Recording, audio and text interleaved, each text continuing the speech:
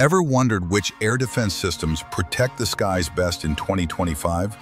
Today's top systems combine advanced radar, powerful missiles, and smart command tech to stop aircraft, drones, and even ballistic missiles with extreme precision.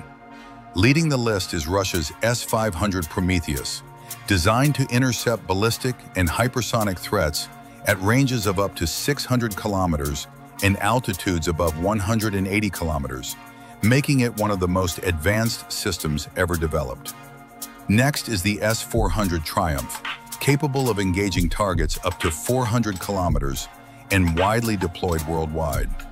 The U.S. THAAD focuses on destroying ballistic missiles in their final phase using hit-to-kill technology, while the Patriot PAC-3 remains a proven system used by the U.S. and its allies.